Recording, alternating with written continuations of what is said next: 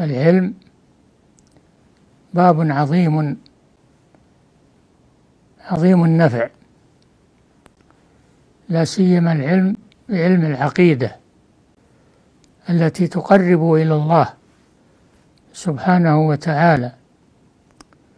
فإن هذا علم جليل وعلم نافع علم خلق الله الخلق من أجله فهو علم عظيم.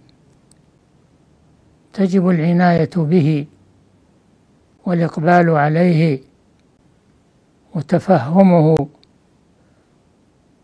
والحرص عليه أشد مما يحرص الإنسان على الطعام والشراب لأنه لا نجاة له إلا به. إذا عمل به صاحبه